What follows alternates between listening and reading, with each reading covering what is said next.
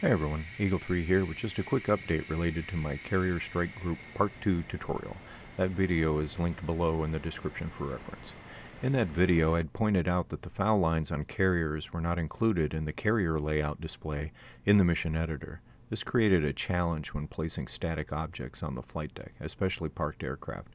Without them, it can be difficult to avoid crossing the red and yellow stripe lines. And why is that important? Often when you see something painted red in the Navy, it means it's painted in blood from injuries. If an object or you are on the wrong side of that line, then there's a possibility that you or it will be on the receiving end of a rather violent collision. Included in the open beta patch released on May 27, 2022, under Supercarrier, was a fix for this issue, deck markings not visible in editor. As you can see now in the editor, the layout is the same as what you see in the mission. Additionally, you can see the outline markings for all recessed deck hatches. These can be flush deck power cables, bomb elevators, etc. You can also see flush deck pad eyes used with tie-down chains to secure aircraft to the deck. Nice touch, ED.